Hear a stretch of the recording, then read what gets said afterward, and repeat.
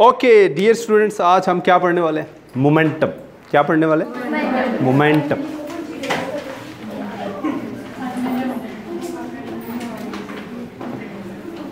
तो मोमेंटम क्या होता है? Product of mass and is known as momentum लेकिन लेकिन इससे पहले कि हम इसकी प्रॉपर डेफिनेशन की तरफ़ जाएँ हमें चंद एक बुनियादी बातें सीखनी पड़ेंगी। उसमें सबसे पहली ये है कि मोमेंटम का वर्ड सबसे पहले किसने यूज़ किया? न्यूटन। किसने यूज़ किया? न्यूटन ने कहा कि basically momentum is the quality of moving objects quality of एक ऑब्जेक्ट जब मूव कर रहा होता है तो उसकी ये क्वालिटी है। मूविंग ऑब्जेक्ट्स की ये क्वालिटी है कि उसको रोकने के लिए, उसको जब हम रोकते हैं तो उसके ऊपर फोर्स लगानी पड़ती है।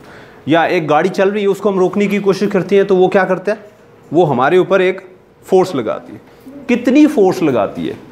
वो गाड़ी हमारे ऊपर कितनी फोर्स लगाती है? इस, इसकी अमाउंट को मोमेंटम कहते हैं। इसकी अमाउंट को मोमेंटम कहते हैं। दोबारा सुने। The quality of a moving objects due to which it applies some force when we stop, when we try to stop it जब हम किसी ऑब्जेक्ट को रोकने की कोशिश करते हैं तो उसके ऊपर जो, हमारे ऊपर जो, वो फोर्स लगाता है, उसको हम क्या कहते हैं? मोमेंटम अच्छा एक और चीज़। जितना किसी चीज़ का मैस ज़्यादा होगा, जैसे ट्रक चल रहा है तो उसको रोकना मुश्किल है बनस्बत। मोटरसाइकिल के साइकिल के, क्योंकि उसका मैस ज़्यादा है। इसी तरह, जिस चीज़, इसका मतलब जिस चीज़ का मैस ज़्यादा होगा, उसको रोकना मुश्किल है। उस, इसकी इसका मतलब ये हुआ कि उसमें जो अमाउंट ऑफ़ या क्वांटिटी ऑफ़ मोशन है, वो ज़्यादा है। ज़्यादा। और जिसका मैस कम होता है, उसको रोकना आसान होता है, क्योंकि उस, उसकी उसकी क्वांटिटी ऑफ़ मोशन कम है। तो फिर जो मोमेंटम हुआ, उसकी जो डेफिनेशन बनी, वो क्या हुई? The product of mass and इसकी जो, इसका वर्ड मीनिंग है, वो क्या है? The quantity of motion the quantity of of a moving objects the quantity of motion of a moving object और इसकी जो डेफिनेशन बनी that is the product of momentum is momentum is represented by small P and it is equal to M into V अच्छा अब चूँकि ये mess और velocity का प्रोडक्ट है तो इसका मतलब है कि इसमें वेलोसिटी आ रही है ना तो ये फिर ये भी वेक्टर क्वांटिटी होगी। तो मोमेंटम क्या है? वेक्टर क्वांटिटी है और दूसरी बात ये है कि इसकी जो डायरेक्शन है, वो क्या होगी? इसकी डायरेक्शन वही होगी जो वेलोसिटी की होगी। Momentum is a vector quantity and its direction is the same as that of velocity इसकी यूनिट की अगर हम बात करते हैं तो यूनिट क्या होगा? यहाँ से देखिए मैथ का यूनिट क्या होता है? और वेलोसिटी का? मीटर पर सेकंड तो किलोग्राम मीटर पर सेकंड ठीक है? अच्छा अब इसका एक और यूनिट भी हम बना सकते हैं। वो कैसे? किलोग्राम मीटर सेकंड को हम नीचे लिख सकते हैं डिनोमिनेटर लिख सकते हैं? अच्छा अपने पास से सेकंड को मल्टीप्लाई भी करें और डिवाइड भी करें। अच्छा अब ये क्या बन जाएगा? किलोग्राम मीटर ये सेकंड और सेकंड मिलकर सेकंड और साथ क्या आया?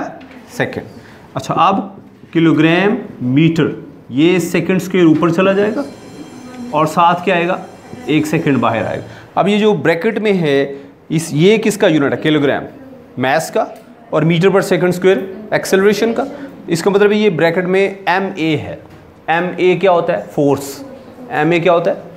तो इसका मतलब ये कि ये न्यूटन के बराबर है। ये ब्रैकेट वाला हिस्सा। तो इसकी जगह हम क्या लिखेंगे? न्यूटन और साथ क्या आएगा? सेकंड। तो इसका मतलब इसके दो यूनिट्स हुए। एक किलोग्राम मीटर पर सेकंड और दूसरा न्यूटन? सेकेंड ठीक, इसका डायमेंशन क्या होएगा? डायमेंशन क्या बनेगा?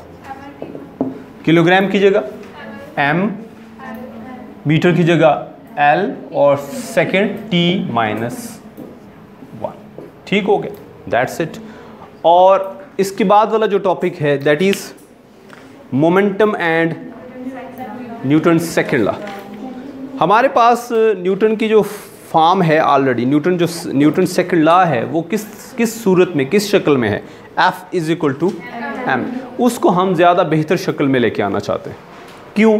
क्योंकि इसमें मैस फिक्स्ड है। मैस मैस फिक्स्ड रहता है। एक्सेलरेशन चेंज होता है। जबकि बाद दफ़ा मैस भी चेंज हो रहा होता है। जैसे रॉकेट को जब हम लॉन्च करते हैं तो हर सेकंड उसका दस हज़ार किलोग्राम मैस कम हो जाता है। तो इसका मतलब है हमें F is equal to M A से ज़्यादा बेहतर इक्वेशन चाहिए। तो उसके लिए फिर हम क्या करेंगे? Momentum and Newton second law momentum और न्यूटन सेकंड लॉ के मुताबिक हम लेट कर लेते हैं कि हमारे पास एक गाड़ी है। उसकी जो इनिशियल वेलोसिटी वो कितनी है? वी आई और उसका मैस कितने? हैम उसके ऊपर एक फोर्स लगती है, आगे की तरफ़। उस फोर्स की वजह से उसकी जो वेलोसिटी है वो बढ़ जाती है। कितनी हो जाती है? इस दौरान वो कुछ एक्सेलरेशन भी गेन करता है। उसी डायरेक्शन में, जिस डायरेक्शन में फोर्स लगती है। तो एक्सेलरेशन का जो फार्मूला हम पढ़ रखा है हमने चैप्टर नंबर थ्री के शुरू में पढ़ा था। Acceleration is equal to rate of change of velocity यानी V F minus V I over T इसको हम कहेंगे इक्वेशन नंबर वन क्या कहेंगे? वन अच्छा अब न्यूटन सेकंड लॉ के मुताबिक, न्यूटन सेकंड लॉ के मुताबिक F is equal to M A तो यहाँ से ए क्या होगा? F over M. इसको कहेंगे इक्वेशन नंबर टू दोनों इक्वेशंस को कंपेयर कर लेते हैं। तो यहाँ से ए ए के साथ कैंसिल हो गया, पीछे क्या रह गया? F और M is equal to V F cross multiply करें। क्रॉस मल्टीप्लाई करें। फोर्स को टाइम से और मैथ को इधर। तो F cross T is equal to M V F mass को अंदर मल्टीप्लाई कर दें। तो F cross T is equal to M M V F minus M V I तो इसका मतलब ये एम वी एफ़ क्या है? फाइनल मोमेंटम और एम वी आई क्या है? दरमियान में क्या है? तो इसका मतलब ये चेंज है। This is change in momentum तो इसका मतलब है कि change in momentum is basically equal to the product of force and time force and time तो इससे हम इस नतीजे पे पहुँचे कि अगर हम देखना चाहते हैं कि एक ऑब्जेक्ट के मोमेंटम में कितना चेंज आया तो हमें दो चीज़ों की ज़रूरत है। नंबर वन उस चेंज को लाने वाली फोर्स कितनी थी और फोर्स कितनी देर के लिए अप्लाई की गई। एफ़ क्रॉस टी फोर्स और टी टाइम फोर्स और कितने टाइम के लिए, कितने, किस, कितने सेकंड्स के लिए वो फोर्स अप्लाई हुई, उन दोनों का प्रोडक्ट क्या होगा? M V F minus M V F इसकी इसकी ज़्यादा बेहतर जो शक्ल है, वो हम इस तरह भी देख सकते हैं। इम्पल्स से ऊपर देखे डेफिनेशन है।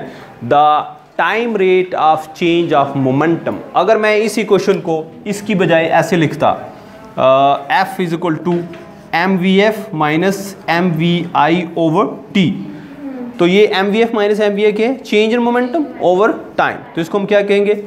Time rate of change of momentum is equal to the applied force so the time rate of change of momentum of a moving object is equal to the applied force कल का जो हमारा topic होगा, उसमें हम impulse पढ़ेंगे। तब तक के लिए, अल्लाह हाफिज़।